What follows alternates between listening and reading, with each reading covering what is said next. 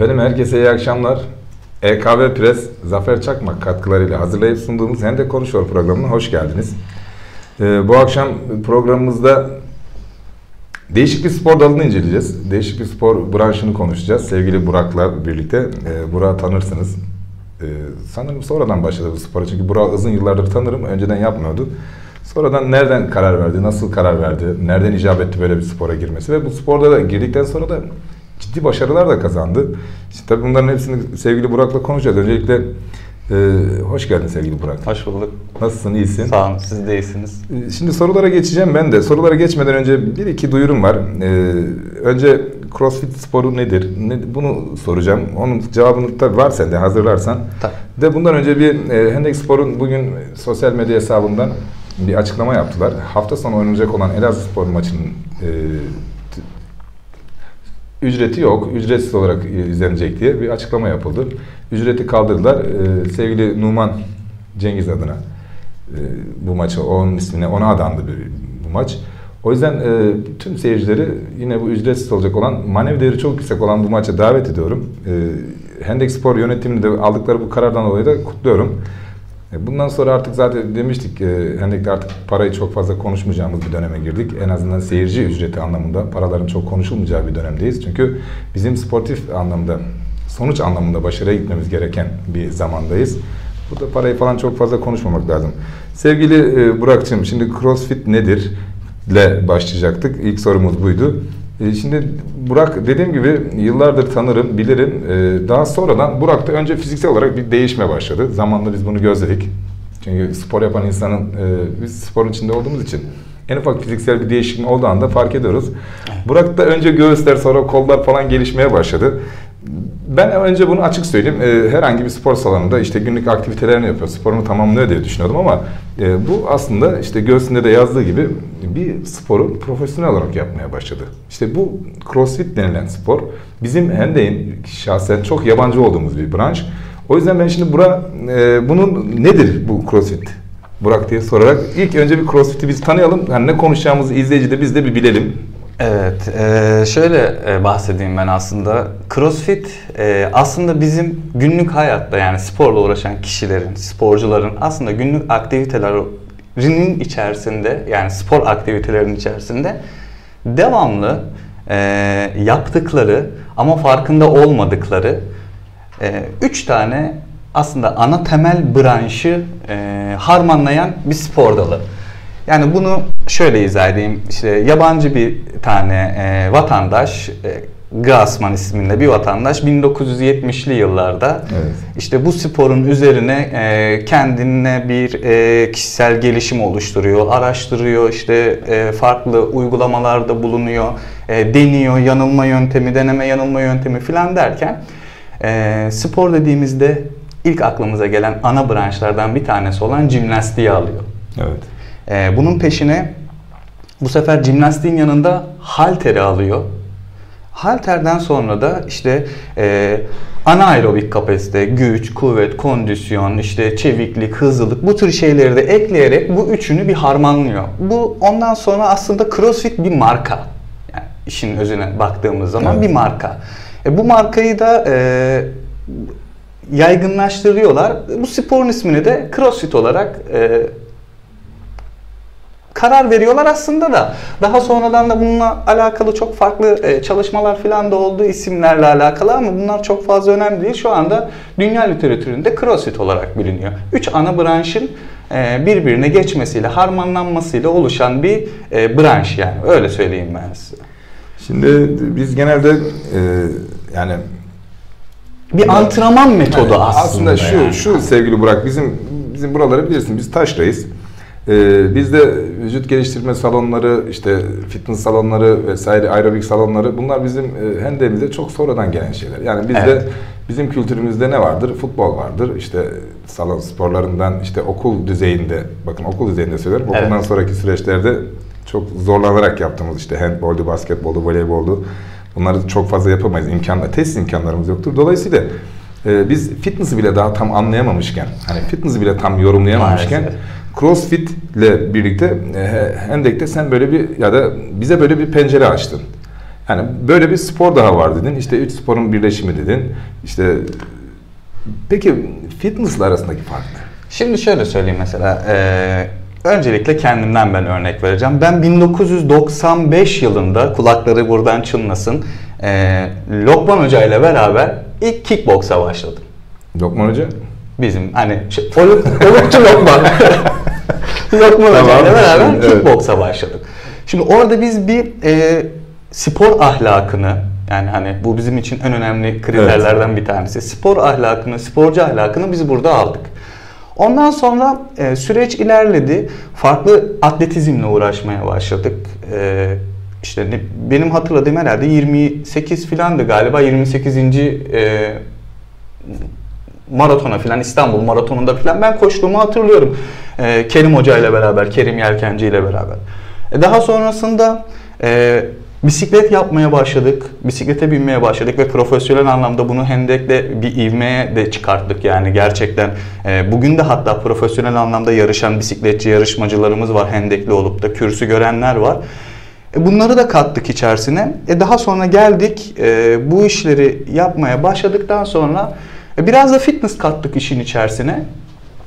Ondan sonra dediler ki gittiğimiz yerlerde gidince dedik ki ya biz işte ya yol uzun yoldan geliyoruz işte 4 saat 5 saat yol geldik işte Ankara'ya gidiyoruz Bursa'ya gidiyoruz oralara farklı yerlere gidiyoruz adamlar diyorlar ki ya siz Allah'tan hani yorgun geldiniz diyorlar yani hani bir de yorgun gelmesiniz bizi mahvedeceksiniz.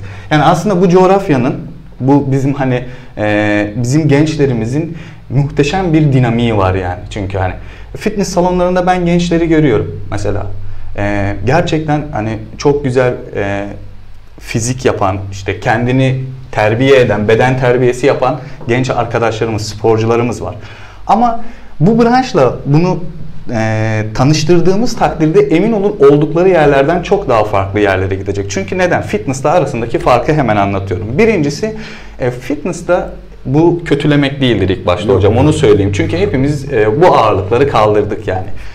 E, belirli günlerde belirli antrenmanlar yaparsınız. Durağan bir antrenman metodu vardır fitness'ın. İşte bugün ön kol, arka kol, işte yarın göğüs, sırt, işte ertesi gün bacak falan yani hep bu şekilde. Ama CrossFit'te ertesi gün aynı antrenmanı ya da ondan sonraki gün aynı antrenmanı yapma şansınız yok. Antrenman metodu devamlı her gün farklı hareketlerle harmanlanıyor. Yani o kadar yelpaze geniş ki ya işte biz 3 gün önce bunu yapmıştık ya da 4 gün önce bunu yapmıştık diyemiyorsunuz.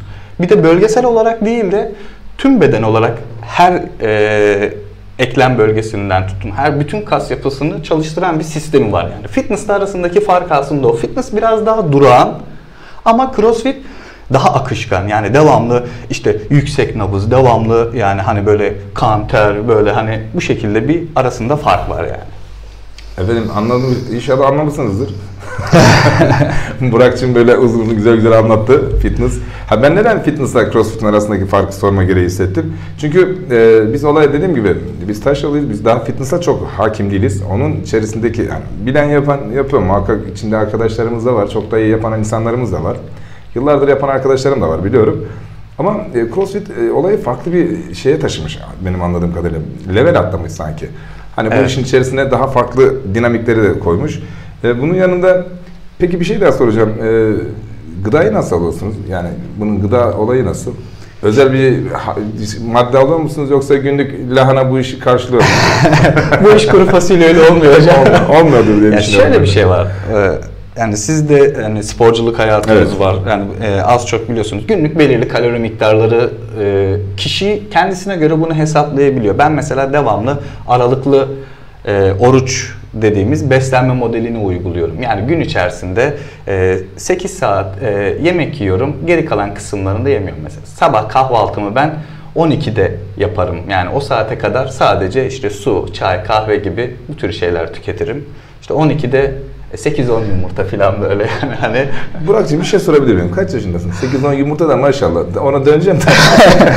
ben 36 36 yaşındayım. Rakiplerim 23 yaşında. Ama yok ya maşallah yani Teşekkürler. e, sporun getirdiği o şeylik var yani fitlik var. E, e tabi yani 8-10 yumurta derken Yani e, kahvaltım böyle. protein olarak.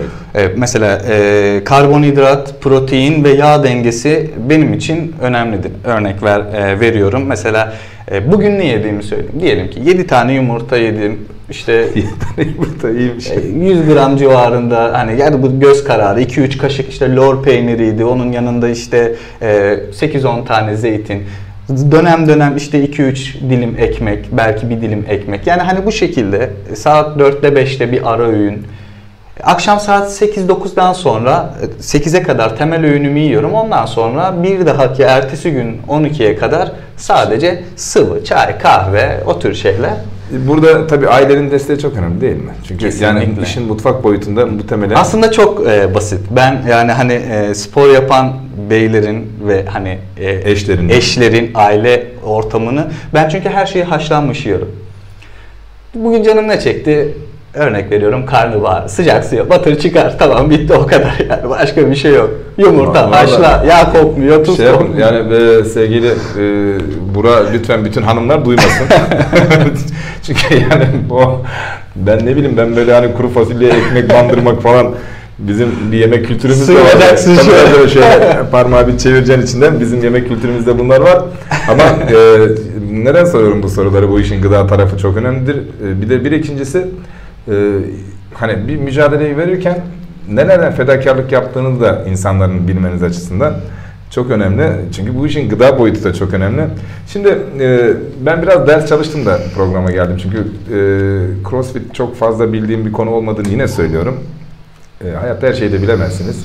Ama işte bilgiyi alacak doğru kaynakla beraber hareket ettiğiniz zaman dolayısıyla artık biz de programdan sonra sanırım CrossFit cahili kalmayacağız. İnşallah. e, CrossFit'te e, Wood olayı var. Bunu bir açıklar mısın bize? Yani ben bunu okudum ama izleyicilerimiz Evet. de duysun. Şimdi hocam wood dediğimiz olay bizde eee, şudur. Eee, bugün salona gittiğimiz zaman ne yapacağız diye düşünmek diye bir şey yok. Wood günün antrenmanı anlamına geliyor. Yani salona gittiğin zaman salonun hocası Evet. tahtaya bir antrenman yazar. Eee, grup derslerinde bütün grup aynı anda o antrenmanı yapar. Yani bu eee, özel derslerde ve kişiye özel olan antrenman programlarında farklılık gösterebilir. Çünkü burada önemli olan sizin eksikleriniz, koç senin eksiğini görür. Der ki işte şu şu şu şu şu Çalışmaları çalışmaları yapacağız. Bunlarla devam ederiz. Ama Wood da Wood günün antrenmanıdır. Akışkandır. Her gün aynı antrenman az önce bahsettiğim gibi karşımıza çıkmıyor. Ee, üye geldiği zaman işte aa diyor bugünkü antrenman tam bana göre bir tanesi diyor ki ya işte en sevmediğim hareket var ama hani e, bunu sonuçta yapmadan Evet. aşamayacaktır. Yani bu günün antrenmanı e, güzel. Herkes tahtayı heyecanla merak eder. Girdiği gibi içeride bugün tahtada ne var diye hani bakar böyle Öğrenci gibi yani. Şimdi şöyle sen tahta falan deyince e, ben buradan şuraya ben bu işi senin tek yaptığını düşünüyordum. Bunun bir ekip mi var arkasında? Bir çalışma ekibiniz var, bir hocamız var herhalde. Ya e, şimdi biz Hendek'te bu işi ivmelendirmeye çalışıyoruz. E, Kaç kişilik bir ekip var? Yine araya bir soruyla daha gireyim. Şöyle söyleyeyim biz e, şu anda bizim sayımız biraz az. Biz 4-5 kişilik bir ekibiz Evet. şu anda Hendek'te. Ama e, verdiğimiz mücadele emin olun bir 400-500 Kesinlikle kişilik öyle bir mücadele. Yani, Yani, başlangıç noktasındaki insanlar çok önemlidir. Bir şeye yeniden başlatmak zordur. Zor. Mesela şöyle söyleyeyim. e, bu yaz mese- e, geçtiğimiz yaz e, biz burada Hendek'te çok güzel bir 3 günlük bir kamp yaptık. Crossfit kampı yaptık. E, gelen arkadaşlarımız oldu Hendek'ten. e, bilenler oldu, takip edenler oldu.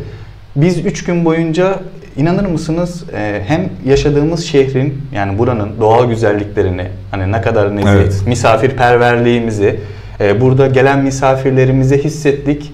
Yani hani bize şey bile dediler ya biz buradan işte bir yer alsak, otursak, yerleşsek nasıl? Sunumu çok güzel yapmış. İngiltere'den insan geldi. Ondan hiç şüphem yok ama sunumu çok iyi. Çünkü çok iyi ağırladığınızdan şüphem yok. Burak, Burak Koç'un şurada bir sözünü keseceğim ben. Ee, sevgili Burak, aynı zamanda da e, Murat Öztürk'ün yanında yıllardır da esnaflık da yapar. Yani e, kuyumcu dükkanında. E, hem iyi bir insandır hem iyi bir aile terbiyesi almıştır ki büyüklerine de buradan annesine olun, babasına teşekkür olmayın. ediyorum. Allah razı olsun. Benim de yıllardır çok uzun yıllardır neredeyse çok uzun yıllardır tanıdığım işte böyle gelişmesini uzaktan yakından izlediğim çok değerli bir kardeşimdir. Eksik olmayın. Şimdi e, hani böyle bir sporun sporun içerisinde olması da ayrı bir zevk. Çünkü az sonra bir, bir bilgi vereceğim, bir şey okuyacağım size ki hemden durumunu bir daha yeniden bir fotoğrafı bir daha görmeniz açısından. Önemli bir bilgi. İşte Burak e, kardeşim gibi böyle e, bu işe kendi öz kaynaklarıyla, kendi e, yetileriyle mücadele edip işte insanları buraya getirip sunum yapıp ağırlayıp gönderdiği noktada ben ki biliyorum çok iyi yapmışlardır bunu muhakkak. Bunlar çok önemli şeyler. Hem ilçemizin tanıtımı hem e, buradaki insanların e, kendini pozitif anlamda ifade etmesi noktasında da çok önemli. O yüzden ben bir hendekli olarak sevgili kardeşime burada bir teşekkür ediyorum. Evet. E, hocamız var demiştin. Hocamız bu işi profesyonel olarak daha önce yapmış mıydı? Yani deneyimleri, donanımları var mı yoksa? Tabii tabii hani bunlar e, deneyim... Nerede, çalışmalarını nerede yapıyorsunuz? Şimdi şöyle söyleyeyim. E, biz kendimize e, daha rahat hareket edebileceğimiz bir alan oluşturduk ilk başta. Evet. E, Camp Fitness Club e, kulüp diye bir yer yaptık kendimize. E, orada biz şimdi halter kaldırdığımız için fitness salonları biraz daha kalabalık oluyor. Biz e, CrossFit'te zaten istersek e, iki insan sığabilecek alanda da antrenman Çalışma yapabiliyoruz. İstersek örnek vermek gerekirse 200 metrekarede de geniş antrenmanlar yapabiliyoruz. Halterde attığımız için biz kendimize daha rahat hareket edebilmek için Hendek'te e, ufak güzel bir yer yaptık, nezih bir yer yaptık. E, bizle çalışmak isteyen kişileri orada ağırlıyoruz. Kendi antrenmanlarımızı orada yapıyoruz. E, e, hocalarımız eşliğinde de aslında yapıyoruz. Ama tabii bunlarda bu konularda biraz zorlanıyoruz. E, çünkü biz programa dayalı ilerlemek zorundayız. Evet. E, e, Başımızda da aslında hani e, hoca olmadığı için şimdi biz de o kıvamda olduğumuz için kendi derdimizi kendimiz e, çözebiliyoruz. Başımızdaki tırnağı kaşıyabiliyoruz ama tabii ki e, bu sporu yapan insanlarla iç içe antrenman yapmak hani kendinden daha iyi olan insanlarla Evet. antrenman yapmak seni yukarılara taşıyor Taşıyor, ya hocam. evet. Aynı o şekilde yani. Biz şu an biraz tek tabancayız. E, tek Evet. tabanca olduğumuz halde İyi şeyler. ilçemizi en güzel şey- yerlerde temsil ediyoruz. Mesela önümüzde e, hak kazandık sayılabilir hani onu söylüyorum. E, şu anda yüzde 70'i e, netleşti. Mesela Sırbistan yarışları var yani. Biz hani nasip olursa e, bayrağımızı Sırbistan'da e, Bir hendekli olarak. bir hendekli olarak güzel. dalgalandırmaya elimizden gelen gayreti göstereceğiz yani. Peki sevgili Burak'cığım e, yarışma e, formatını sormak istiyorum. Ne yapılıyor orada? Yarışmada neyi yarıştırıyorsun? Şimdi yani biz diyorum ya biz fitness'a takılıyoruz. Evet. Fitness'ta geliyor işte Evet. adam sahneye çıkıyor buradan bir şişiriyor buradan dönüyor arkadan şişiriyor falan. Bu mu?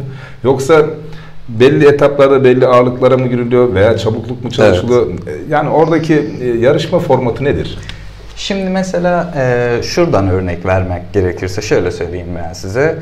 E, bunlar e, terim olarak belki ilk başta hani e, izleyicilere belki şey gelebilir, yabancı gelebilir ama bizim sistemimizde mesela MRAP diye bir zaman birimi var. Mesela bu şu şekilde oluyor. Kişi size diyor ki 15 dakika boyunca bu hareketi bir hareket veriyor sana. Diyor ki ağırlık 60 kilo. Bunu diyor e, haltercilerden söyleyeyim işte. Hani bizim sirkme, koparma dediğimiz Evet. hareketlerimiz var ya meşhur. İşte diyor ki bunu diyor 15 dakika boyunca 90 kiloyla en fazla yapabileceğin kadar yap. E, karşındaki rakibine de aynı antrenmanı veriyor. E, zor gibi gözükse de karşındaki rakibine de zor. Sana da zor, ona da zor. Bunu 15 dakika boyunca e, farklı hareketlerle harmanlayıp diyor ki işte bunu diyor 5 kere kaldıracaksın. 5 kere kaldırdıktan sonra işte 5 kere ipe tırmanacaksın. İpten indikten sonra işte 200 kere ip atlayacaksın. Böyle bir koordine kuruluyor. Aynen öyle. Bunu işte İki, ikili yarışmalar iki kişi iki kişi mi oluyor yoksa? bu e, etap etap dönem dönem değişiyor. Tek yarıştığın yarışmalar oluyor. Evet. İşte eşli yarıştığın yarışmalar oluyor. Üç kişilik team dediğimiz takım yarışmaları oluyor. Hani e, bu format format değişebiliyor. Ben Kuşadası'ndaki yarışa gittiğimde e, ergometre dediğimiz fitness salonlarında da görmüş olduğumuz kürek aleti vardır mesela. Evet. Ayarladılar. Dediler ki e, 1000 metre kürek çekeceksiniz. Küreyi çektikten sonra bırakıp 500 metre 1 kilometre deniz etabı verdiler. Burada yüzeceksiniz. Çıkabilen çıkacak, çıkamayan kalacak. yani hani böyle şeyler de var. Biraz Sürpriz yani sürprizler gelebiliyor. Zor yani. e, şeye karşılaştırdığımız zaman e, hani ben seyircilerimizin, izleyicilerimizin de tam böyle oturtması için sormaya çalışıyorum. Böyle hangi spora yakın karşılaştırdığımız zaman Petlatlonlar falan. Evet petlatlonla yakın çünkü neden? Ee, devamlı bir engel aşıyorsun, devamlı yüksek nabız bu çok etkiliyor Evet. insanı. Mesela bana e, benim en son yarışta işte hakem arkadaş yanıma geldi. E, takım kaptanı sen misin diyor. Ya cevap veremiyorum. Adımı sorsan söyleyemem yani. Hani öyle bir kıvama geliyorsun. 180 olmuş nabzım. E, skor kartım var. İmza atar mısın dedi. Kalemi aldım bir yuvarlak çizdim bıraktım yani hani. imza diye Evet, yani hani. Vücut bazı şeylere... Şimdi sevgili Zor yani. için e, mesajlarım var onları okuyayım. Teşekkürler. Hem sen de bir nefes almış ol. Sevgili Oğuzhan Ünlüsoy, Burak Koç abime selam olsun Nurullah abi. diyor. Aleykümselam. Ercan Kanar yurt dışından sevgili Ercan. Selamun Aleyküm, hayırlı yayınlar Nurullah kardeşim. Hendek için, Hendek gençliği için vermiş olduğunuz mücadeleden dolayı tebrik ederim. Burak kardeşime selamlar, başarıların devamını dilerim. Teşekkürler. Ee. Avrupa Türklüğünden kutsal topraklara selamlar. Aleyküm selam. Aleykümselam Aldık, kabul ettik sevgili Ercan Kanar. Ee, sevgili Murat Mülazimler, iyi yayınlar hocam demiş. Çok teşekkür ederim sevgili dava arkadaşıma. Nurcan Şimşek, Kavis, e, selam, iyi yayınlar, iyi akşamlar e, di- dilemiş. Çok teşekkür ediyorum. İyi yayınlara, iyi akşamlara. Yine gurbetten sevgili Cemal Ali, gurbetten selamlar, iyi yayınlar dilerim. Burak kardeşime başarılar Eyvallah, diliyorum demiş. olmasın. Çok Allah teşekkür olsun. ediyorum güzel mesajlarınız için. Şimdi söyleşimize devam etmek istiyorum ben sevgili Burak'la beraber. Çünkü e, dediğim gibi e, CrossFit'i önce belleklerimizde bir yere bir oturtturalım. Bir, bir şeylerle mukayese karşılaştırmalar yaparak ben önce anladım onu söyleyeyim. E, belli ki etap etap e, böyle mücadele edilen bir spor. Bu arada sakalımı kestim nasıl olmuş? Sakal tıraşı oldum onu da söyleyeyim. Tanıyamayan izleyiciler için söyleyeyim. Yine Nurullah Akçay yayında. Efendim e, sevgili Burak şimdi biz bunu sporu yapıyoruz veya gençlere yapmalar için tavsiyelerde bulunacağız da bunun e, bir malzeme şeyi vardır. Yani bunun malzemeleri nedir? Ne kullanılır çalışırken veya e, yardım aldığımız malzemeler nedir? Hocam aslında şimdi eee, olay biraz da bizim ne istediğimize bağlı. İşte CrossFit'i ben pandemi döneminde 15 kiloluk bir dumbbell'la evde geçirdim. Eee, ve ne formum bozuldu ne bir eee, işte bizde nefes çok önemli olduğundan dolayı Evet. herhangi bir kayıp yaşadım. Sadece alt kattaki komşuma biraz rahatsızlık verdim hani ses olarak yani. Ee, onunla da zaten konuştuk. Bu mevzuyu çözdük. Problem olmadı. Yani evde bile yapabileceğimiz, tek dumbbell'la bile yapabileceğimiz bir se- e, seriler vardır. Ama e, onun haricinde e, şey için söylüyorum, mukayese edebilmek adına söylüyorum. Yani fitness salonlarındaki gibi e, bizde makine fabrikası gibi bir görüntüye gerek yok.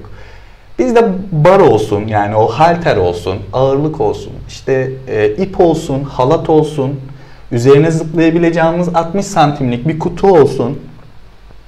Yani bunların olması crossfit yapmak için yeterli. Çünkü biz Yani- olimpik kaldırış yapıyoruz. Dolayısıyla çok masraflı da bir Yok şey yok yok yani. yok. Ama bu işin bir de mesela ergometre kısımları var. Ergometre demiş olduğum olay işte kürek, e, bisiklet gibi böyle hani e, e, durumlar da var. Bunların da kullanıldığı alanlar var.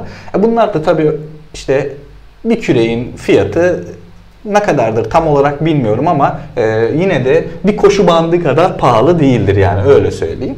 E, ama onun haricinde yani halterciler gibi bir e, ringimiz olsun, jimnastikçiler gibi işte ya da bir demirimiz olsun ekranda görmüş olduğunuz gibi ben mesela orada ekranda e, muscle up denilen bir hareket yapıyorum. E, muscle up denilen harekette jimnastikçilerin demiri tutup kendilerini yukarıya kaldırmaları hareketidir. Bu hareket ilk başta çok basit gibi ya da kolay gibi gözükür ama dediğim gibi e, 170-180 nabızla oralara çıkmak gerçekten çok zor yani. Bu kadar. Ekipman olarak öyle çok e, büyük doluluklara işte e, bir Çok salon açmak için öyle milyonlara falan ihtiyacı olan bir şey değil yani hani e, durum değil yani. Şimdi izleyicilerimiz arasında ben buradan görüyorum sevgili Serkan Güven Ataşoğlu var.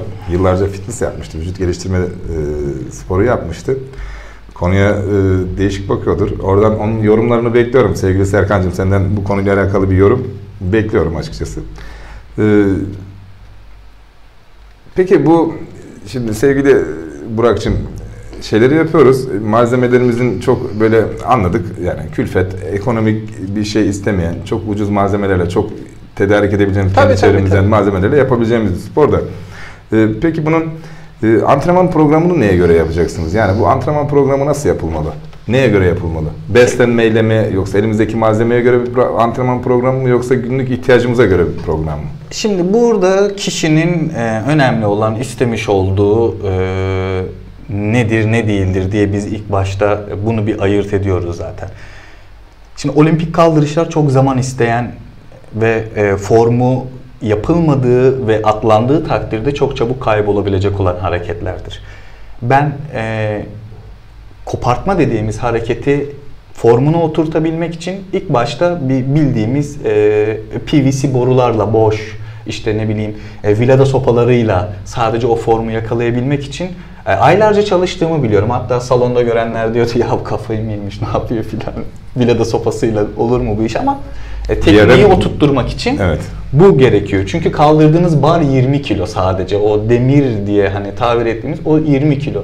E yanına 10'arşar kilo koyduğunuz zaman bir torba çimento gibi oluyor yani hani 50 kilo Doğruysa oluyor. yani. bunu bunu toparlayıp Bunlar çok önemli. İşte e, ne istiyor? Olimpik kaldırış mı? Zaman alır.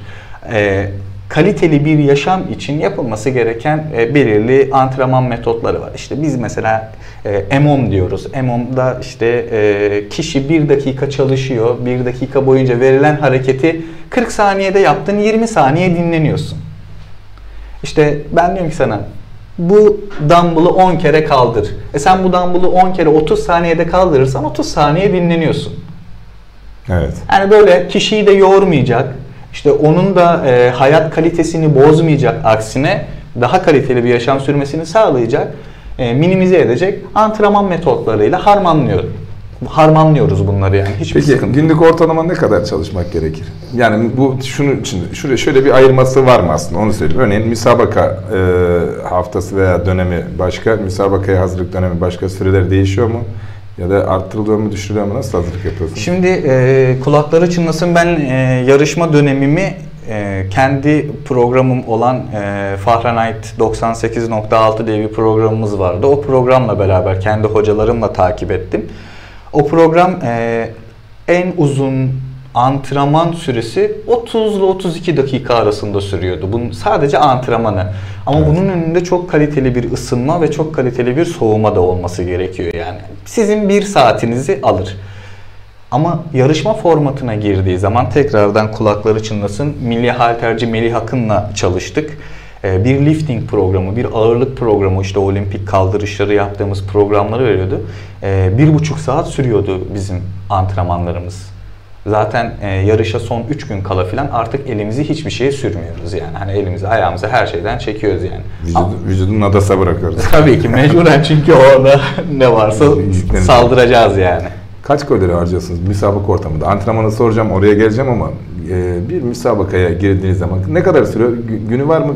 Birkaç gün üst üste mi sürüyor yoksa Şöyle söyleyeyim e, hocam, benim e, Ankara'da en son gittiğimiz yarışta e, müsabakamız iki gün sürdü. Cumartesi, pazar sürdü ama bizdeki sıkıntı, yani sıkıntı değil aslında bu işin formatı bu. Şimdi sabah saat 8'de yarışım başlıyor. 8 sabah saat 8'deki yarışa 6.30'da uyanıyorsun. Evet. Otomatik olarak. Şimdi 6.30'da bir şey yesen olmuyor, Yemesen. Yemesen de olmuyor. Bu sefer ne yapıyorsun işte? O arada vücudu hızlı toparlayabilecek ve yarışta seni etkilemeyecek. İşte e, fıstık ezmesi, muz, işte kahveyle hani e, kendimizi Vücudu uyandırmak. uyandırmak amaçlı e, yüklemelerimizi yapıyoruz. E, 8'de yarıştık. E, tamam çıktık. Diğer kategoriler yarışıyor. E, 12'de bir daha salondasın yani bir daha podyumdasın, bir daha yarışman gerekiyor. Ve her yarış bir yarıştan, önceki yarıştan daha sert geçiyor. Yani e, Evet. acımıyorlar. Peki Buna bir şeyler, inanın. bir şeyler sorayım hemen yarış yarışma ortamından gidince e, derecelerimiz var mı bizim? Ee, şöyle söyleyeyim. İzmir Kuşadası yarışlarında e, 6'da kaldık. Orada 30 tane e, kendi kategorimizde 30 elit atletle yarıştık. Orada iyiydik. Daha sonra İstanbul Fit Kafalar e, CrossFit oyunlarında orada elit kategoride birinci oldum. E, takım olarak yarıştık orada. Ee, yeni gelmiş olduğum Ankara yarışlarında da o, o, o platformda çok e, iyi bir platform. Bir de bizim sadece yanlış anlamayın yarışlarımız e, bu komite e, dünya çapında takip edildiği için yabancı sporcular da geliyor. Evet. E, bir de e, bir, biraz da Ben onlarla onu, ben onu soracaktım aslında. mücadele Hani ediyoruz. Nasıl oluyor diye. Hani diye mi? şimdi Nurullah abi ben seni tanıyorum. Neler yapabileceğini biliyorum. Evet. Ama onları kestiremiyorum abi. Yani hani e, Adam ne çalışmış, hiçbirimiz geldi, kestiremiyor. nasıl Yani geldi? sosyal medyalar farklı. İnsanların birbirini takip etmesi çok farklı ama şimdi mesela şöyle söyleyeyim. Bizim Haziran ayında nasip olursa İstanbul F1 Parkı'nda yine çok e, dünya çapında büyük bir organizasyonda yarışma hakkı kazandık orada. Çok güzel. Ee, 3 zannedersem e, 4-5-6 Haziran'da olacak. Ee, şimdi oradaki bütün atletlerimin neredeyse %80'i yabancı. Yani %80'i yabancı. Şimdi bizim önümüzde Allah nasip ederse e, Cuma akşamı sahura kalkacağız. Cumartesi günü Evet. oruçluyuz. Şimdi bizde mesela böyle bir kavramlar var. Hani e, bunlar bizim için milli e, manevi değerlerimiz. Evet, önemli yani. kesinlikle, kesinlikle. Ama rakiplerimiz için öyle bir şey yok. Yok adam gelecek. Yani hani e, onlar Bu yiyorlar içiyorlar. Etkileyecek mi sizin performansınızı peki orada? Yani e, biz onun için de planlamamızı yaptık ama e, ister istemez tabii ki gün içerisindeki o yorgunluklar, yemekten sonraki o insülin direnci, şeker oranları, hani yükselmeler, işte uyku şeyleri filan illaki ister istemez etkileyecek. Ama biz daha fazla çalışıp kapatacağız. Bunu e, şey yapmayacağız, e, bahane etmeyeceğiz. E, Allah da yardım edecek bize muhakkak. İnşallah, Ondan yana inşallah. bir şeyimiz yok. Ankara yarışında da çok güzel gidiyorduk. Ee, biz de yarışçıların içerisinde ne yapacağımızı önceden bilmiyoruz. Orada bize diyorlar ki gelin bakayım siz buraya siz bu bu bu bu bu bunu yapacaksınız diyorlar. Bizim son yarışımız final yarışımız yani rakiplerimize karşı. Ee, benim takım arkadaşıma çok uygun olmayan bir e, şey çıktı bize. E, program çıktı. E, halat vardı, tırmanış vardı uzun miktarda. Kendisi biraz halterci olduğu için halatta biraz e, şey kaldık. E, istediğimiz verimi alamadık kendisinden. Olsun önemli değil biz oraya çıktığımız zaman Evet. hani eksik e, Ol- gedik değil. Orada orayı beşincilikle kapattık. E, yine de orada 240 tane elit atlet vardı yani hani e, gerçekten orası müthiş bir e, arena. Orada da yine hani hem sporumuzu hem ilçemizi hem kendimizi en güzel şekilde temsil ettiğimize inanıyorum yani. Hmm, Peki bir şey soracağım. Ee, yarışmalara gidiyorsunuz, müsabakalara gidiyorsunuz. Şimdi saydığınız yerler hep şehir dışında, uzak. Dolayısıyla da e, gidip birkaç gün kalmayı icap eden. Bunu nasıl finanse- Can alıcı soruya geldi. Bunu nasıl finanse ediyorsun? Yok biz bunu bilmek durumunda. Yani söylemek zorunda değilsin ama. Şimdi e, şöyle söyleyeyim. Yani bu işe birisi emek veriyorsa, birisi bu işe yatırım yapıyorsa veya bu işi destekliyorsa o kişilerin de bilinmesini de isterim ben. Kesinlikle, spor- kesinlikle, içerisinde. kesinlikle. Yani e, şöyle söyleyeyim. Bu bizim amatör sporların ve profesyonel sporların yani hani e, kanayan bir yarası. Yani sen de biliyorsun Kaynak. tabii yani. Kaynak. Kaynak.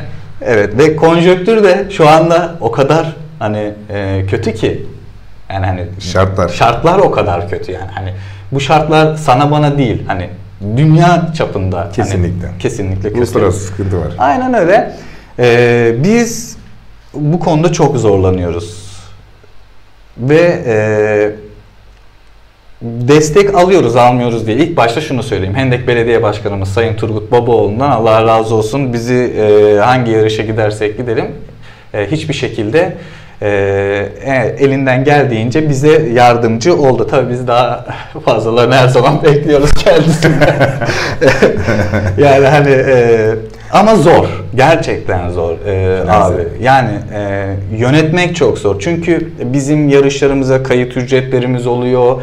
E, gittiğimiz yerde konaklama ücretlerimiz oluyor. Yani hani bugün e, yani bugün bir Ramada'da kalmaya kalksan zaten gecelik fiyatları Evet. 400-500 liralar gibi fiyatlar çıkıyor. 2 gün 3 gün süren yarışlarımız oluyor. E, Bunları biz elimizden geldiği kadar e, kendi imkanlarımızla çözmeye çalışıyoruz. Sıkıştığımız yerlerde işte belediye başkanımızdan olsun, e, sevenlerimizden olsun e, böyle Destekler. destekler geliyor ama e, da- bekliyoruz yani. Şimdi e, değerli izleyiciler burada yaklaşık 15-20 program yaptık. E, 15-20 program artık sayısını bilmiyorum. Hem maçın ardından program hem böyle bugünkü sevgili Zafer Çakman e, katkılarıyla hazırladığımız işte Hendek Konuşuyor programında da sporun farklı branşlarını, farklı hatta spor değil yani Hendek'te farklı hizmetler veren Hendek'te çok değerli insanları ağırlamaya çalıştık. Yalnız şurada ortak bir payda dikkatimi çekti. E, futboldan işte misafir konuk ediyoruz. İşte destek noktasında muhakkak surette Turgut Babaoğlu'nun ismi tekrarlanıyor. Efendime söyleyeyim handbolden, işte voleyboldan ya da farklı spor veya farklı işler yapan insanların e, hepsinde sevgili belediye başkanı Turgut Babaoğlu'nun ismi muhakkak destek noktasında bir kere geçiyor. Yani şimdi e, sevgili Burak da bunu söyleyince hakkını vermek lazım. Seversiniz, sevmezsiniz, oy vermişsinizdir, vermemişsinizdir. O bir siyasi iradedir ama e, Hendek için ben Turgut Babaoğlu'nun şu dakikada çok büyük bir şans olduğunu düşünüyorum. Niye? İşte bakın e, anlatı. Yani sevgili Burak bunları yaşayarak birebir işte yani mukayese olsun diye otel ismini de vererek gecelik fiyat bile verdi. Yani düşünün bunlar bir ekip olarak gidiliyor. Ekip olarak girme maliyetlerini düşünün. Ee, şahsi olarak kazancı var mı yok mu oraya onu sormayacağım zaten. Bizi ilgilendirmez de var mı? Sıfır. kazancı da yokmuş. İşte burada Hendek'in ismi oralarda duyuluyor. İşte bugün veteranlarımız nasıl e, dışarıda Hendek'i temsil ediyorsa. Bu noktada e, bu tür insanlara, spora hizmet veren bu tür e, yapılara, kişilere, şahıslara işte Turgut Babaoğlu'nun da bu şekilde kol kanat germesi bir spor insanı olarak e, kendisini tebrik ediyorum. Gerçekten çok güzel bir şey. Şimdi burada bir de e, bizim mesajlarım var. Hemen onları hemen okumak istiyorum. Hızlı geç kalmasın kimsenin. Şey, Akçay Nagen iyi yayınlar demiş. Çok teşekkür ediyorum. Bekir Oduncu iyi yayınlar. Burak Hocam hoş geldiniz demiş. Ve e, tabii saati biraz yazdı şiir ben gördüm ama biraz geç okuyacağım. E, sevgili Ahmet Çelik'in şiir saati. Onu bir okuyayım ben. Şiiri var Ahmet e, şairimizin. Saatler olsun Nurullah Bey demiş. Teşekkür ediyorum. O, o şey için. E, spor yapmayan birey fazla kilo ile boğuşur. Can kulağı ile dinle. Can Burak doğru konuşuyor. Eksik olmaz. evet. evet çok doğru. Tespitte doğru. Sevgili Burak da doğru konuşuyor. Doğru da Hocam anlatıyor. e, çok özür diliyorum. E, balla kesiyorum. Ben bir de e, şuna da değinmek istiyorum. Buyur. Yani şimdi bizim ilçemizin yani yaşamış olduğumuz yerin gençlerinde gerçekten hani e, bir farklılık var spor anlamında. Yani hangi branşta olsun, nereye gidersek gidelim biz bu farklılığı bir şekilde gösteriyoruz. Ama spor ahlakımızdan ama e, müsabakada vermiş olduğumuz can başla yani hani şimdi benim az önce dediğim gibi 36 yaşındayım, rakiplerim 23 yaşında. Evet. Yani bu e, zaten anatomik bir şey var yani. Hiçbir şekilde 23 yaşındaki bir bireyle 36 Kesinlikle, yaşındaki kesinlikle. birey bir olmaz. Sen bunu Yok, anlatman bile hani şey. yani. Ama şöyle bir şey var hani ilçemizde. Bunu kesinlikle yanlış anlaşılmasını istemiyorum. Ee, ben sadece ilçemde artık gerçekten farklı branşların da Evet. olabileceğini işte ne bileyim bir crossfit yani işte bir e, badminton işte ne bileyim e, farklı farklı. Evet, farklı Geçen spor. yarışa gittiğimde işte e, arkadaşlar yanıma geldi sohbet ettik. E, ya işte müsait olduğunuz zaman beraber antrenman yapabilir miyiz filan. Yani davet ediyorlar beni İstanbul'a. Rugby e, e, bayan rugby milli takımı sporcusu hepsi. Bayan rugby milli takımı ve çok başarılılar. Avrupa'da olsun, şeyde olsun. E, yana- ya- yanılmıyorsam Firuzköy dediler. Evet İstanbul'da. Yani e, aklıma hemen ya bu Bizde de yok. bizde yok Bizde yani. de Hani yok. Bravo. yani hani şey için söylemiyorum. Bu tamam artık e, biraz endüstriyelleşmiş de olmuş olsa, bütün dünya bunun etrafında dönüyor da olmuş olsa da yani hani e, futbol, karate, güreş, hendekte e, zirveleri gördü zaten yani. Evet. Hani gördü. Biraz daha farklı branşlarda mesela bir jimnastik yani e, hendekte hizmet veren arkadaşlarımız var bununla alakalı ama müsabık sporcu yetiştirebilecek kıvama gelmemiz gerekiyor artık. Bunları yapmamız gerekiyor. Mesela bisiklette e, kürsü gören sporcularımız var yani. Volkan. Volkan kesinlikle Bülent abi aynı şekilde e, bunlar gerçekten desteklenmeli. Yani hani e, bisiklet diyorsunuz ama e, ya da bisiklet diyorlar ama Volkan oraya gittiği zaman ya geldi gene diyorlar. Çünkü rakip olarak görüyorlar, tehdit görüyorlar yani. Hani Evet. bu bence çok güzel bir şey. Çok yani. güzel bir şey. Ba- Harika ba- bir şey. Aynı şeyi bana da söylüyorlar yani. Hani Bunlar çok güzel şeyler işte. Yüzde yüz katılıyorum sevgili Burak. Yani e, ne kadar çok spor e, branşı, ne kadar çok spor içerisinde insan, o kadar çok sokaktan kurtarılan çocuk demektir. Bunu şimdi tam e, bunu söyledi. Yani aklıma gelmişti hatta notlarım arasında da var.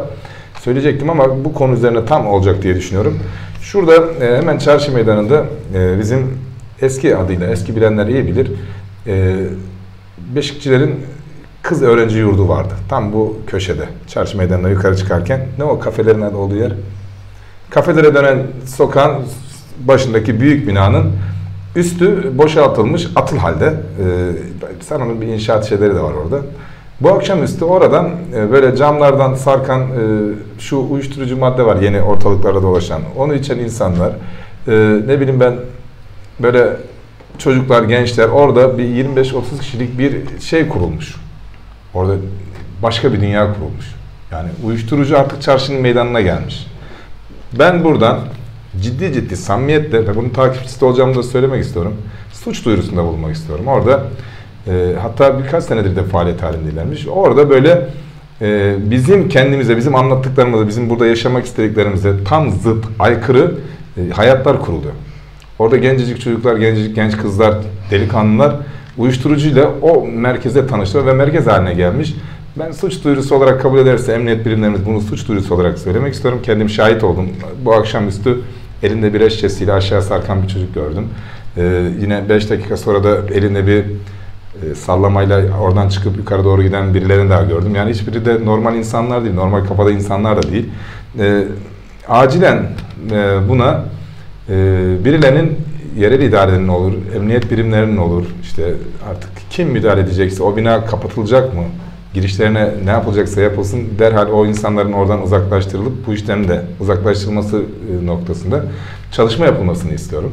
Çünkü bakın biz burada ne güzel anlatıyoruz. Sevgili Burak diyor ki işte sporun içerisindeki hendekli gençlerimiz diyor bu işe daha aktif daha biz sporcu hendekli gençlerimizi böyle konuşmak istiyoruz. Evet rugby, rugby mi kurulsun sporcularımız enerjisini rugby atsın.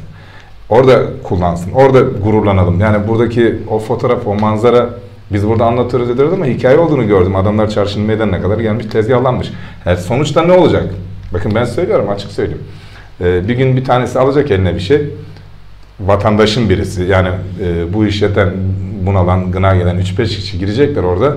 Olaylar istenmeyen boyuta gelecek ve bunu yaptıkları için bu insanlar bir de kanun nezdinde suçlu duruma düşecek. Yani müdahale ettikleri için. O yüzden e, olaylar o boyuta gelmeden daha böyle ufakken, küçükken bir an önce önlerinin kesilmesini tavsiye ediyorum. Lütfen rica ediyorum. Oraya herkes dikkat etsin. Bütün emniyet birimleri o binaya dikkat etsin. O binayla ilgili e, artık kapısına mı kilit vurulur? E, ne yapılacak bilmiyorum ama bir iki kişiyle oradaki esnafla da görüştüm. Şunu söylediler. E, artık aileler oradan eşiyle, çoluğuyla, çocuğuyla. Benim haberim yoktu bu akşam öğrendim. Allah var. Çoluğuyla, çocuğuyla oradan geçmediklerini öğrendik. Yani orası artık e, o bu işi yapan insanlar için kurtarılmış bölge haline gelmiş durumda. E, bu işlerin bu kadar rahat, bu kadar kolay, bu kadar aleni olmaması gerektiğini düşünüyorum. Oraya bir şekilde eğer emniyet birimleri bir müdahale yapmazsa, bakın söylüyorum halk şişmeye başlamış, oraya halk müdahalesi olacak. Bu da hoş şeyler olmayacak. Ee, sevgili Hasan Zandoğlu da hayırlı yayınlar diyor. Çok teşekkür ediyorum. Efendim, e, bir e, yine konumuza dönmek istiyorum. CrossFit'e dönmek istiyorum sevgili Burak bu duyuruyu yaptıktan sonra bunun altını da çizmek istiyorum. Bununla ilgili sanırım Mehmet e, Kavis de Haber Endek'te bir haber yapacaktır. Binanın fotoğraflarını istedim ben çünkü oradaki esnaf arkadaştan onu söylemek söylemek istiyorum. Böyle insanların oradan camlardan sarktığı vesaire yaptığı pozisyonlarda. Bunun haber olarak da bu konu üzerine gideceğimizi Haber Endek ailesi olarak da söylemek istiyorum. Bu konuyu pas geçmeyeceğiz. Çok çok önemli bir konu. E sen de duydun mu oradaki olayı hiç? Ya e, ben konuşulurken duydum ama biz şimdi günlük hayatımızda evden evet. sonra direkt şey işten sonra direkt spor salonuna geçtiğimiz işte için sporun içindeki insanların yani zaten hani, işi olmaz onlarda e, da ben de yeni yani öğrendim. Hani yani. ben de yeni öğrendim yani şu, şu anda öğreniyorum ama bizim gençlerimiz yine e, duyarlıdır. E, işte. Yani bu konular e, şimdi bizim gençlerimiz duyarlı değil de ben bizim gençliğimizde bu tür şeyler olduğu zaman biz çok samimi söyleyeyim. Bunu herkes beni tanıyan tanır. Burada şimdi nezaket şudur budur yapmayacağım. Biz giderdik çökerdik yani bu insanlara biz yaptırmazdık bunları yani. İzin vermezdik ama şimdi ben 50 yaşındayım ya yeniden sahaya mı döneyim? döneyim mi yani? Döneyim mi Mehmet? tamam halledeceğiz. Efendim e, konumuza dönmek istiyorum. Bu can sıkıcı bir konu ama biz yine spor konuşalım. konuşalım. Bunların da bir şekilde üstesinden geleceğiz. Sevgili Yasin Karada da iyi yayınlar Nurullah abim demiş. Teşekkür ederim sevgili Yasin. Öpüyorum seni de. Ee, Türkiye'de e, crossfit yarışmaları ne sıklıkla oldu? Türkiye'de CrossFit yarışmaları ne sıklıkla oluyor? Ee, çok güzel bir soru abi. İşte biz bir tanesini ve en iyisini kendi ilçemizde yapmak istiyoruz. Buradan da Sayın İşte Belediye bu. Başkanımıza e, İş bu buraya konu- kadar geldi yani. Bu, bu konunun zaten biz e, sunumunu filan her şeyini hazırladık. İnşallah yaza güzel bir e, games tarzında bir yarış düşünüyoruz. Olmasını da istiyoruz ama e, bizim ligimiz diyeyim öyle söyleyeyim. İşte Kuşadası'yla başlar İzmir etabı, ondan sonra İstanbul etabı, daha sonra bir Ankara etabı, bir İstanbul etabı daha olur. En son Kuşadası'yla tekrardan kapanır yani. Hani 5 sezonda en fazla 6 gibi bir yarış oluyor. Bunların içinde e, kişilerin tabii ki biraz daha e, taşın elini altına böyle koyması gerekiyor. Bunlar hep maddiyat gerektiren şeyler. E, sponsor desteği olması gerekiyor. Yiyecekli, içecekli, kalacaktı filan derken bunların hepsini Tabii ki atletler bunların ödemelerini kendileri yapıyorlar ama sonuçta siz de bunlarla alakalı anlaşmalar yapmak zorunda kalıyorsunuz. Yani Evet. biraz uğraştırıyor sizi ama e, yine de güzel bir e, ambiyans yakalıyorsunuz. Hendek'te zaten e, bu işler için biçilmiş kaftan, e, doğa deseniz var, e, tribün deseniz var, ne ararsanız var yani. Doğa derken e, bir salon ortamında yapılmıyor mu? Müsabakalar çok bildiğimiz bir Şimdi e, mesela e, alan var. Ala, Kuşadası etapları oralar deniz e, olduğundan dolayı hem içerisinde deniz aktivitelerinin olduğu hem de e, işte e, karada yapılabilecek aktivitelerle açık havada yapılıyor. Bunun için e, Alparslan Türkeş Parkı biçilmiş bir kaftan örnek vermek gerekirse. Orada müthiş bir yer e, Çalış yapılabilir yani. Yapılabilir kesinlikle kesinlikle. Çünkü e, alan olarak kullanıma uygun. Ya bunun gibi e, zaten birçok yerimiz var. Sentetiğin orası bilemedi. Örnek vermek gerekirse. kullanıma Yapılacaksa uygun. yapılır yani. Yapılacaksa yapılır kesinlikle. Ankara salon ortamı mesela. Türkiye'nin en büyük salon e, yarışması orası. Yani e, her etabın farklı bir şey Anladım. var yani. Oluyor yani. Olmuyor diye bir şey yok. Şimdi e, bizim e, bu az önceki konuşmamızın üstüne hendekli hendekler bu işlere tepkilidir. Şimdi benim gibi işte işinde, evinde, yolunda olan insanlar bu tür bu hendekteki az önce anlattığım o atıl bina ile ilgili bilgisi olmayanların e, muhakkak tepki göstereceğini de biliyorum. Sevgili Bekir Oduncu, Nurullah Ustam bunun sebebi 10 yıl önce hendekte sadece 2-3 dalda spor olduğu için şimdi hendeğimizde 7-8 spor dalı var. Bunun sonucunu 5 yıl sonra tertemiz gençlik olarak alacağımıza İnşallah, inanıyorum demiş. inşallah. Çok teşekkür ediyorum. Ee, Yaşar Yaman selamlar, iyi akşamlar Hendem Spor aşıkları. Sıhhatler olsun Nurullah Bey demiş. Te- çok teşekkür ediyorum. Efendim Aziz Mümtaz yazar iyi yayınlar diliyorum demiş. Teşekkür ederim. Ben şimdi bunları e, izleyicilerimizin bu konudaki görüşleri çok önemli. E, zaten program formatımız bu.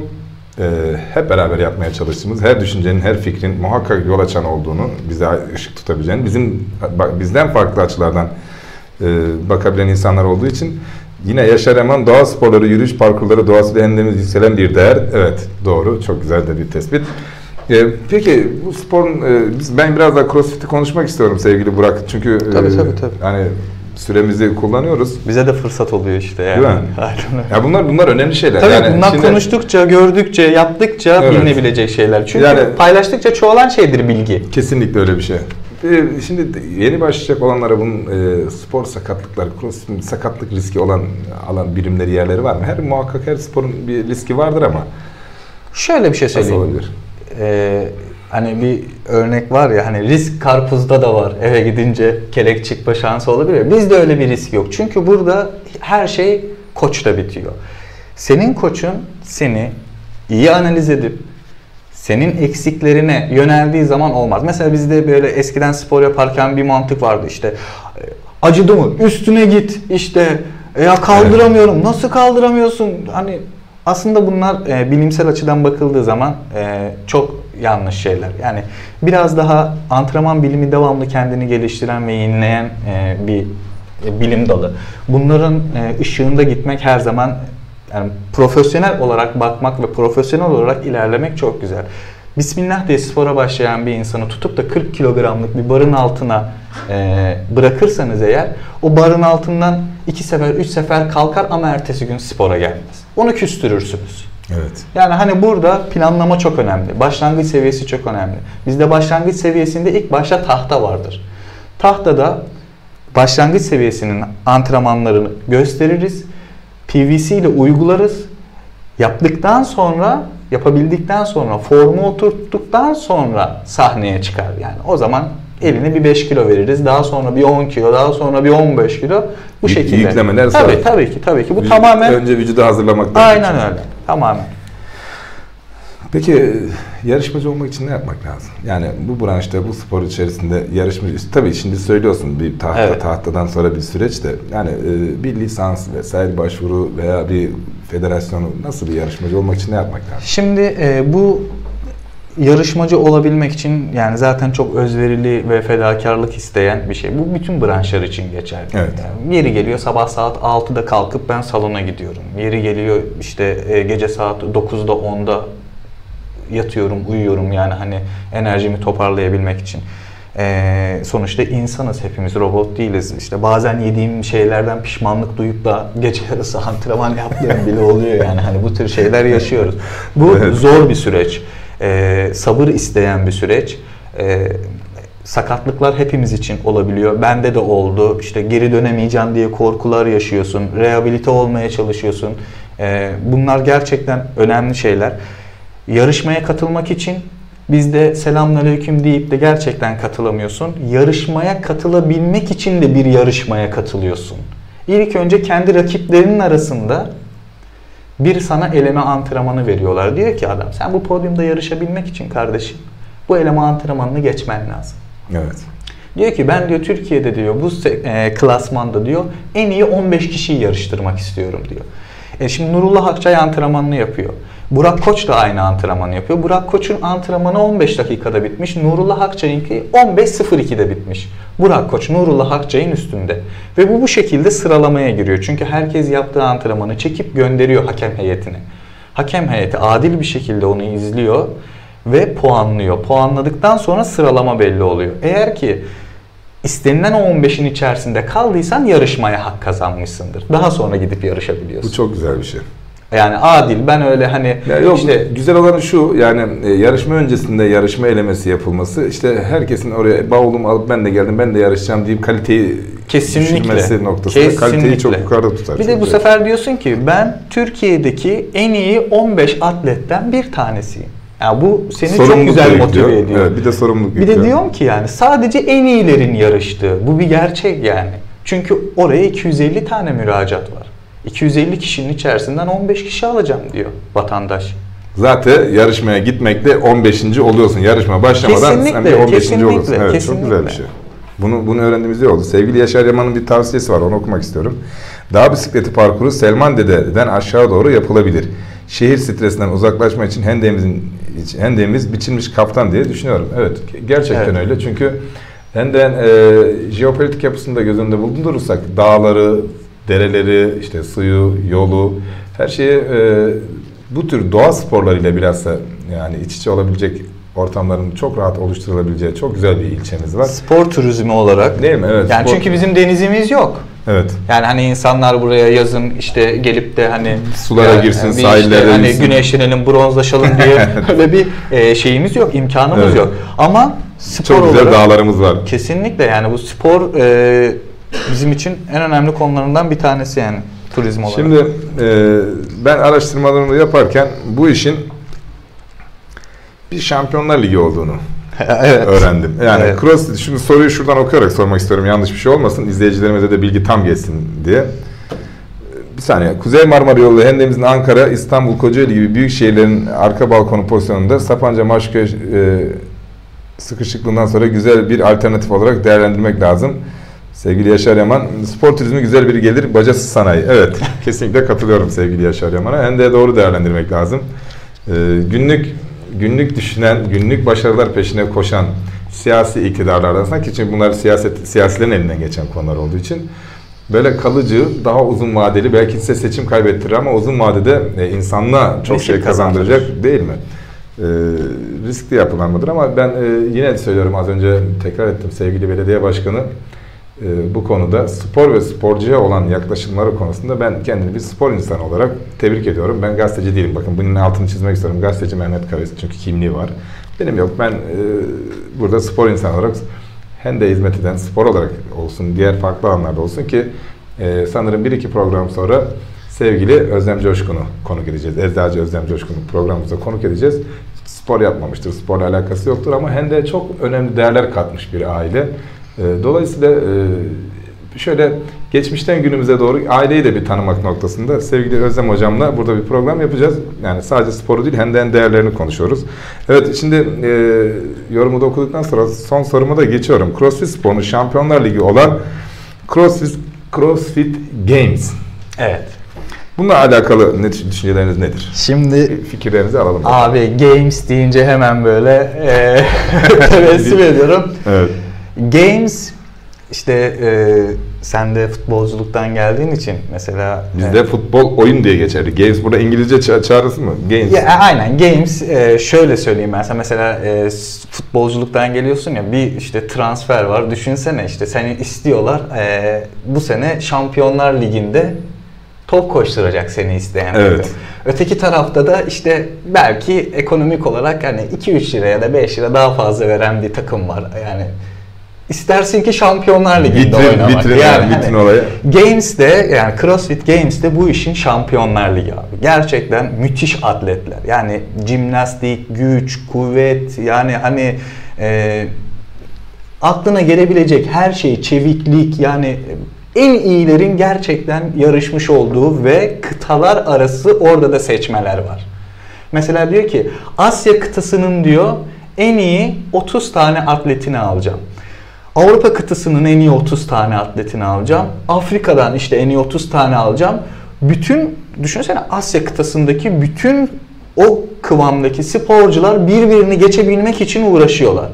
Ve yine aynı sistemde o 15'i aldıktan sonra hepsini harmanlayıp tek bir yarışta yarıştırıyor. Ve Şampiyonlar Ligi. Dünya gözüyle görmek istediğim bütün atletler orada.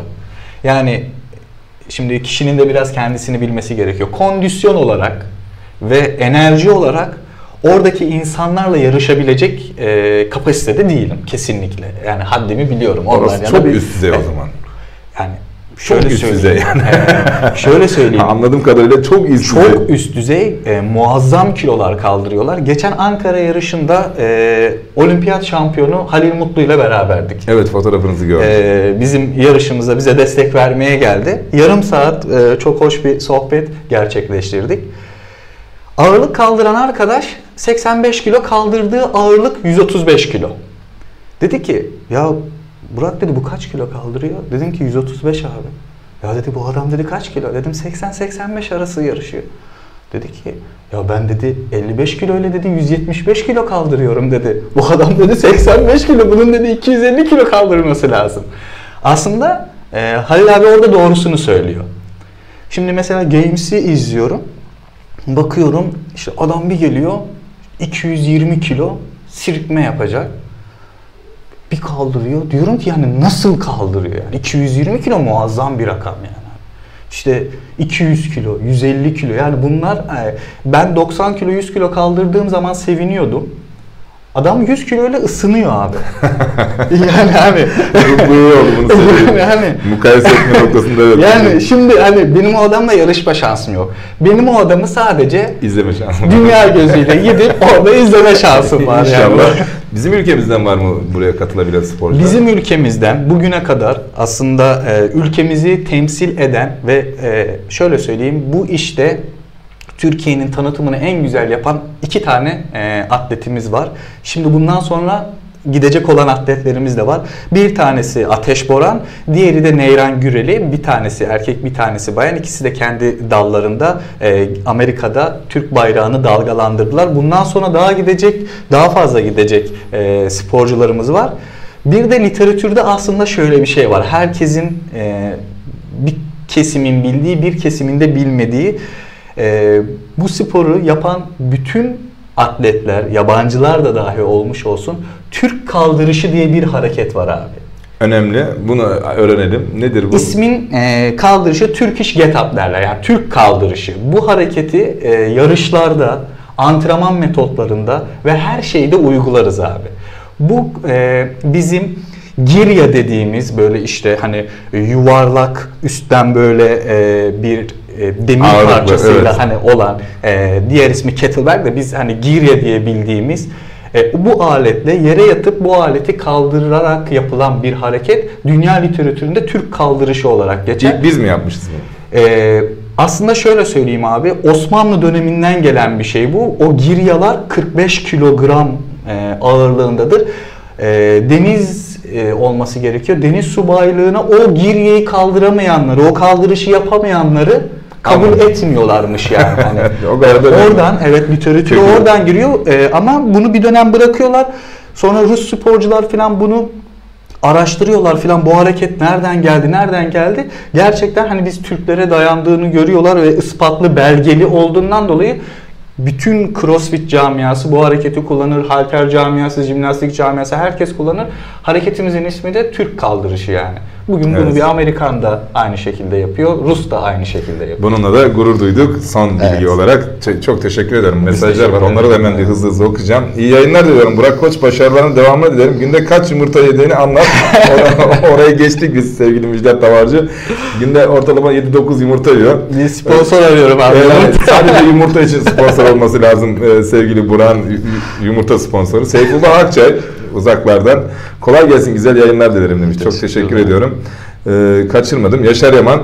Kozmopolit olan Hendeğimizin Gürcüsü, Lazı, Çerkesi, Abhazı, e, Boşna, Arnavut'u, e, Kelkadinisi romanının yanı sıra Alman, Japon, Kore, Çinli sizi saymadığım birçok millet san- e, sanayinin gelmesiyle Hendeğimizde yaşamaya başladı. E, mutfak ve spor turizmiyle güzel bir gelir, ekonomik e, başarı şahlanır olur. E, ayrıca güzel havası ile Biçkatik Mahallesiz e, solunum hastaları için sağlık sektörü rahmetli saygıyla an- anıyorum. Doktor Erol Coşkun'un geçmişte bir projesi dile getirilmişti. Çok teşekkür ediyorum sevgili Yaşar Yaman bilgilerden dolayı. Evet, e, Hendeğimizin e, böyle bir özelliği var. Çok farklı, kozmopolit bir yerdir. Evet, çok farklı etnik e, grupların içinde yaşadığı ama örneğin Burak'la beni düşünün. O Abazaydın sen Evet. O Abaz'dır. Abha- Abhaz köke, kökenlidir. Ben de Trabzon, Laz olduğumu söylerim ama o bana ne sokakta, ne evde, ne dışarıda, ne hiçbir yerde en ufak böyle abi kardeş ilişkimiz en ufak bir sekteye uğramadan devam etmiştir. Yıllardır gelen bir şeydir ki benim de onun büyüklerine karşı öyle saygım, sevgim vardır. Muhabbetle yaşar gideriz. Biz birbirimizi böyle her türlü tutarız, kaldırırız düşmüş olmalarımızı. O yüzden e, hem böyle bir güzelliği var. Bunun yanında bununla beraber bir de doğa güzelliği var. İşte biz yaşadığımız şehre böyle sahip çıkmaya çalışıyoruz. Spora böyle destek vermeye çalışıyoruz. Sevgili Burak bu akşam benim konuğumdu. Bize CrossFit'i anlattı. Heyecanlı heyecanlı anlattı. Dolu dolu anlattı. Bizi bilgilendirdi. Yeni bir spor branşının kafamızda e, yer etmesine vesile oldu. O yüzden kendine emekleri için bir hendekli olarak hendek tanıtımı noktasında çok teşekkür ediyorum. Ee, başarılarının devamını diliyorum. Biz, siz bizlere katıldınız. Bizimle beraber programı yaptınız. Sizlere iyi akşamlar diliyorum. Çok teşekkür ederim sevgili Burak Ben kardeşim. teşekkür ederim abi çok sağ ol. Her şey Eksik gönlünüzce olma. olsun inşallah. Sağ olun. Hayırlı akşamlar Hayırlı akşamlar.